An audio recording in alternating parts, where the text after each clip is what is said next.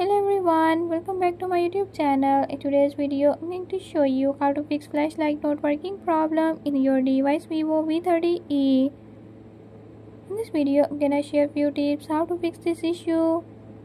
But before we get started don't forget to hit the subscribe button and ring the notification bell so you never miss out on new videos and stay updated.